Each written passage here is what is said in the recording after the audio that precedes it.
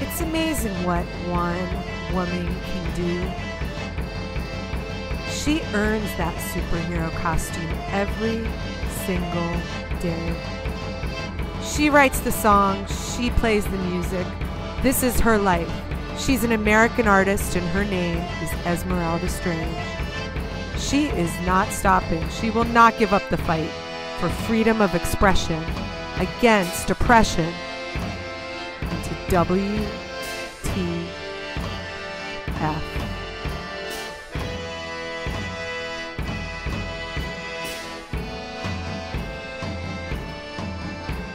My name is Esmerelda Strange, and I support this ad because I made it.